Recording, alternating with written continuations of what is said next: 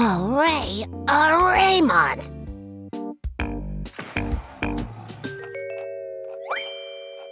Hmm? Oh, wow! It says there's going to be a dinosaur attack in Techtopia today!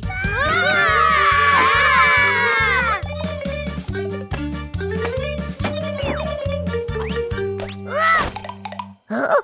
Ah!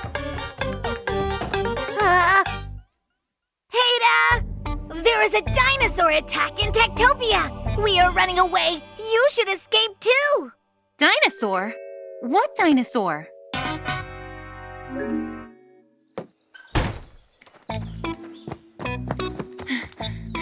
There's no dinosaur attack. You shouldn't trust that poster. It didn't cite any sources. Cite sources?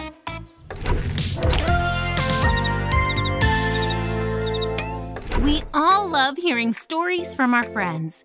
Sometimes they may exaggerate the details of the story to make them more exciting.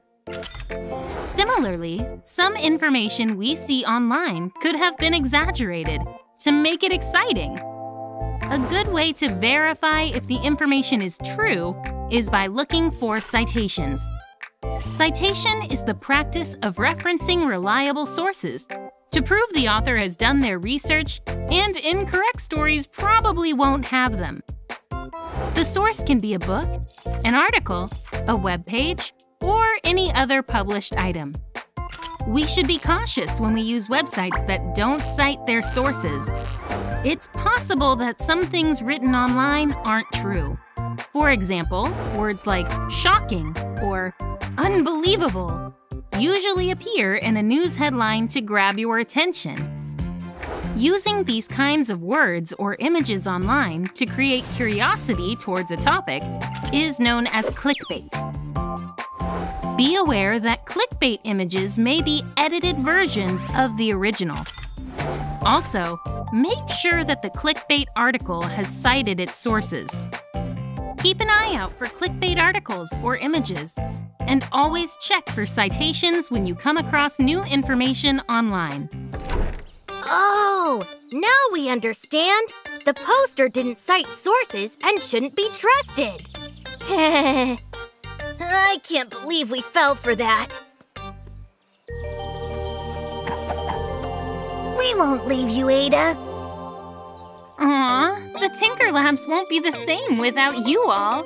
And I think I know who made this poster.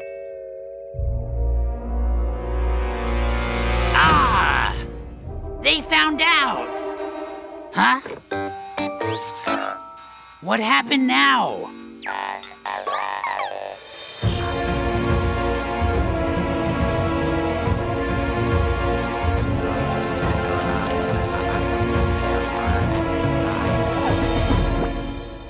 A clickbait image gave the trolls the scare of their lives. Remember, always be careful online and don't believe everything you see.